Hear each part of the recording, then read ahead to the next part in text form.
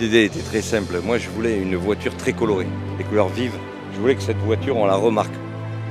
Ensuite, tous les pictogrammes du code de la route ont une signification. Je voulais reconstituer le circuit et tout ce qui se passe sur le circuit autour du cockpit. Je m'étais dit, pour une fois, c'est pas le pilote qui va faire le tour du circuit, c'est le circuit qui va faire le tour du pilote. On est sur un châssis qui a fait trois fois les 24 heures du Mans. On n'est pas simplement sur un objet artistique, on est sur une véritable œuvre d'art capable de rouler à 330 km/h sur les Hunaudières et qui l'a fait tout en racontant une histoire. C'est vraiment fabuleux d'avoir à la fois euh, l'œuvre d'art originelle plus la hard car qui sont face à face à Rétromobile pour fêter le centenaire des 24 heures du Mans.